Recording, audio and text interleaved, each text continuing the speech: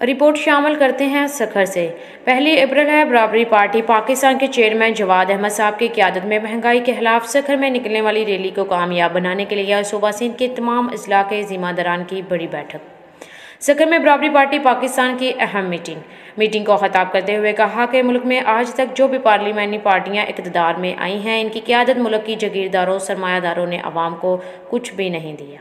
बराबरी पार्टी पाकिस्तान असम्बलियों में मुल्क के मेहनत कश मजदूरों, नौजवानों, शायरों, अदीबों और आवाम दोस्तों को लोगों का आवाज़ पहुँचाएगी। मजीद उन्होंने नौजवानों को अपील की कि इस महँगाई के खिलाफ होने वाले एहतजाजी रैली में शरीक होकर मौजूदा वक्त आवाज़ बने। आए मुल्क की क्यादत संभालें और अपना तरीही किरदार अदा करें। इस मौका पर जिम्मेदारान ने बड़ी तादाद में शिरकत की।